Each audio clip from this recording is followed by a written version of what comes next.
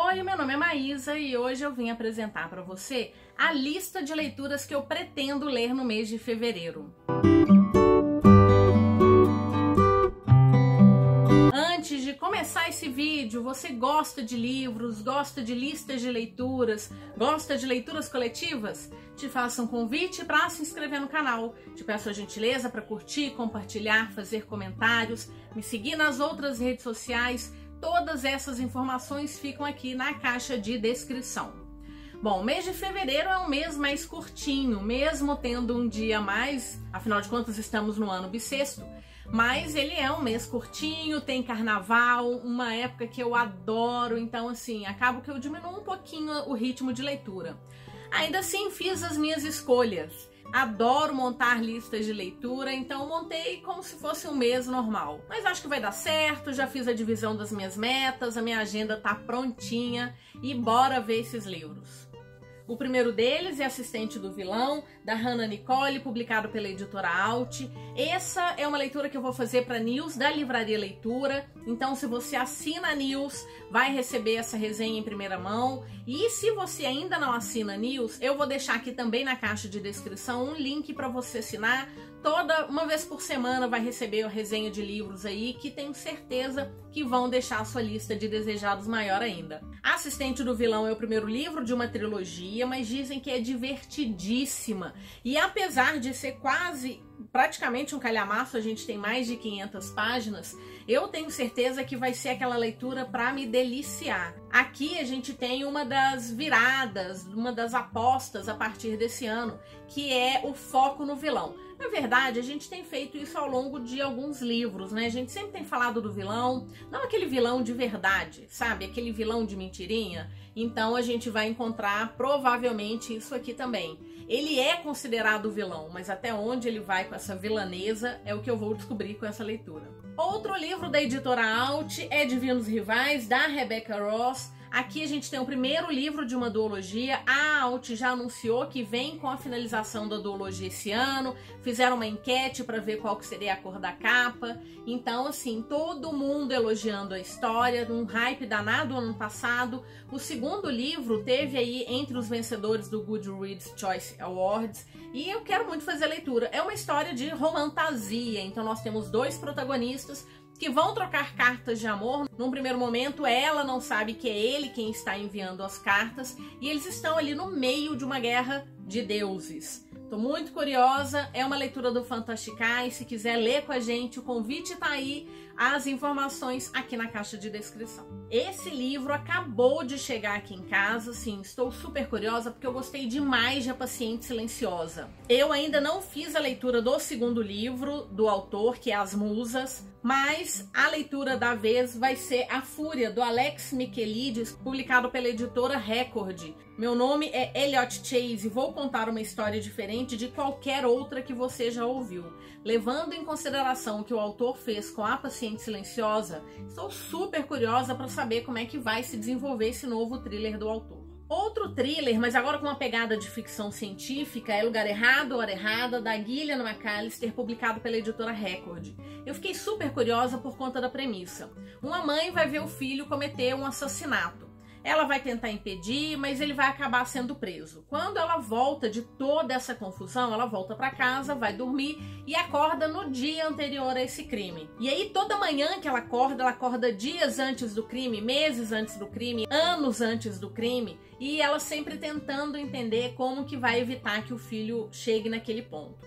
Assim, a premissa é incrível, é um livro bem curtinho para se passar em anos, são 350 páginas, mas estou bastante curiosa e em breve venho contar para vocês o que, que eu achei dessa história. Eu gosto muito dos romances da Brittany C. Sherry. Na verdade, eu lembro de ler muitos romances dela no início, mas faz muito tempo que eu não encontro as histórias dela, comecei a achar um pouco carregadas no drama e estavam muito assim dolorosas. Até que veio o encontro com Holly, que veio inclusive nessas capas, nessa tendência de capa fofinha e que tem uma pegada ali muito com a cara do Natal. Mas eu recebi bem depois do Natal e assim, romance, uma comédia romântica sempre cabe em qualquer meta literária. Então coloquei essa comédia romântica da Brittany Sherry, de inimigos, amigos, de amigos a amantes, Um Encontro com Holly é a primeira comédia romântica da autora. Como eu gosto da escrita dela, só tava achando que o drama tava me pesando, acredito que aqui numa comédia romântica eu vou me deliciar. É o que eu tô esperando para essa história. O Problema dos Três Corpos, de Xin Xiu Liu, publicado pela editora Suma, é o primeiro livro de uma trilogia de ficção científica que a adaptação já tá aí. É uma história que dizem ser muito difícil. A gente tem aqui alienígenas que vão chegar na China por volta de 1960. Uma crônica da marcha humana em direção aos confins do universo, uma clássica história de ficção científica no melhor estilo Arthur C. Clarke. Um jogo envolvente em que a humanidade tem tudo a perder. É uma história, uma leitura coletiva lá do Loucos por Leituras Conjuntas. Nós já começamos mas ainda dá tempo, se você tiver interesse, bora conversar, porque ficção científica é um prato cheio para leitura coletiva. Agora, um romance de época. O Escândalo da Sufragista é o quarto livro da série Os Excêntricos, da Courtney Milan, publicado pela editora Arqueiro. Aqui a gente vai ver uma protagonista que está envolvida com o movimento sufragista. E parece que o protagonista ele vai acabar se aproximando dela para o seu plano de vingança. Então, são o Edward e a senhorita Free Marshall. A protagonista já apareceu em livros anteriores e assim, eu gosto muito dessa coisa desse movimento sufragista, né? Conhecer um pouco mais. A autora, ela sempre tem essa pegada histórica aí para os seus livros. Eu gosto muito. Então, ela já falou da questão dos trabalhadores, de jornada de trabalho. Ela falou um pouco sobre ciência, sobre o papel da mulher na ciência. Imagina se agora, às vezes, a gente ainda está falando disso. Imagina isso lá no final do século XVIII, início do século XIX. Tô super curiosa e é o último livro. Tem dois contos que inclusive estão disponíveis na através da Amazon. De qualquer maneira, vou encerrar a série com o escândalo da sufragista. Eu, com o perfil Porque Leio, junto com o Clube do Livro BH, nós elaboramos um, uma leitura coletiva que seria de uma viagem pelos continentes. Então, nos meses de fevereiro, março, abril, maio e junho, nós propusemos desafios para cada um dos continentes. O primeiro continente é justamente a Europa. A ideia era ler um clássico de um autor que fosse do Reino Unido e de uma história que já tivesse adaptação. Eu escolhi Senhor das Moscas, do William Golding, publicado pela Alfaguara. Eu realmente gosto mais de fazer a leitura de clássicos junto de outras pessoas, porque vai dando uma mão à outra. Tem livros que são mais complicados, tem livros que vão despertar discussões assim interessantíssimas, e fica aí o convite. Agora uma releitura do Fantasticai, uma releitura minha, uma leitura coletiva do Fantasticai, Uma Tocha na Escuridão, da Saba Tahrir, publicado pela Verus, o segundo livro da série. Nós terminamos o primeiro livro recentemente, já vamos fazer a leitura do segundo e já programamos o terceiro e o quarto também. Para mim é uma releitura, uma fantasia que tem uma pegada, né, em uma parte ali do Oriente. Então foi incrível voltar a encontrar a Laia, o Elias e a Áquila são três personagens assim com, uma luta, sabe? São histórias carregadas de problemas, eles estão sempre tentando buscar a paz para eles e para eles próprios e para os seus povos. Mas é uma luta em glória, porque eles estão indo contra um grande exército e contra um poder aí milenar que eles vão descobrindo aos poucos.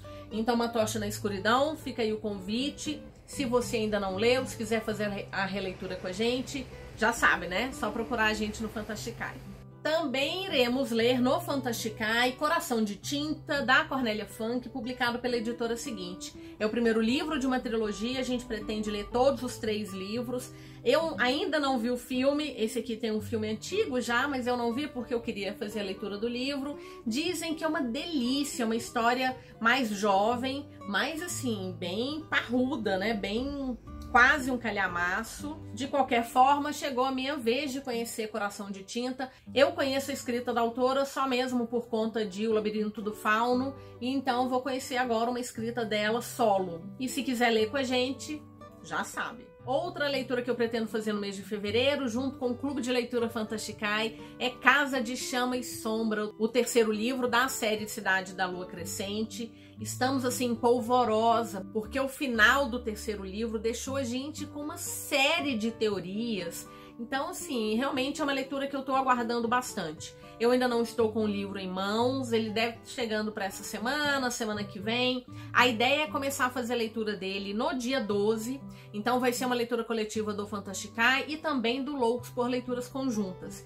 Se você tiver interesse em qualquer um dos dois livros, e tem gente que entra nos dois, porque conversar sobre uma história que a gente gosta muito é sempre bom. Então fica o convite mais uma vez, vocês já viram que leitura coletiva realmente é uma coisa que me atrai muito, não é à toa que eu criei junto com a Juliana o Fantasticai, tô sempre entrando em outras leituras coletivas, a gente tem o Deu a Louca nos Encalhados, tem o Loucos por Leituras Conjuntas. Eu acho que ler coletivamente é uma experiência que a gente tem vivenciado cada vez mais e que para mim funciona muito bem. Tem hora que eu gosto de ler livros sozinha, comédia romântica funciona super bem ler sozinha, mas histórias que enchem gente de teorias, ah, eu adoro conversar com outras pessoas. E também adoraria conversar com você aqui pelo canal. Bora conversar? Me fala quais são os livros que você pretende ler em fevereiro, se tem alguma leitura coletiva que você pretende fazer, alguma dica de leitura, bora conversar. Um comentário que você deixa aqui ajuda muito com os números do canal, esse é um canal em crescimento, então bora comentar, bora conversar, bora trocar figurinhas. Lembrando que eu vou deixar o link de compras na Amazon para esses livros aqui na caixa de descrição. E também tem o meu cupom de desconto no site da Livraria Leitura, que é Maísa10. Comprando qualquer coisa lá no site usando esse cupom, você tem 10% de desconto. Desconto é sempre bem-vindo. Muito obrigada se assistiu até aqui, te desejo ótimas leituras e nos vemos no próximo vídeo. Até mais!